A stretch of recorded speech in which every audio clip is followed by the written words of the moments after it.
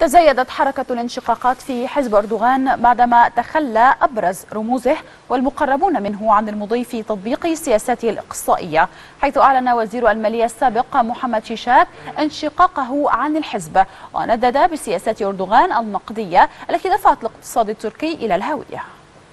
خيبة أمل يعيشها أردوغان تلك الأيام بعد سلسلة من انشقاقات رفاق الأمس ومن رموز حزبه العدالة والتنمية. فبعد انشقاق رئيس الوزراء التركي السابق أحمد داود أغلو ووزير الاقتصاد السابق علي بابجان عن حزب أردوغان انضم للقائمة وزير المالية السابق الذي تشير المصادر إلى أنه سيعلن انضمامه لحزب داود أغلو بمجرد الإعلان عن تأسيسه بصورة رسمية. ويأتي انشقاق وزير المالية السابق بعد أن فشلت محاولات أردوغان في استمالته بعرض حقيبة الوزارة عليه من جديد إلا أنه رفض العرض. خشية الفشل في ظل تدخلات أردوغان في رسم السياسات النقدية بصورة فاجة تسيء لسمعة الاقتصاد التركي. أما أردوغان الذي استيقظ متأخرا وهو يرى سفينته تغرق ويتقافز منها رجاله طلبا للنجاة من مركب تائه بقيادة قبطان أرعن يدرس حاليا خطط هيكلة حزبه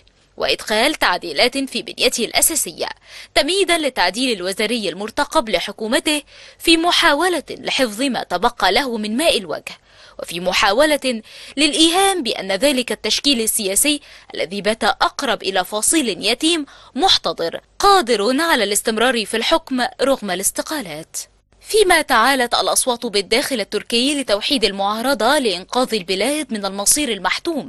الذي يجرها إليه أردوغان بفعل سياساته المتخبطة التي لم تجلب لهم سوى مزيد من الفوضى والعنف وفقدان الأمن وانهيار الاقتصاد.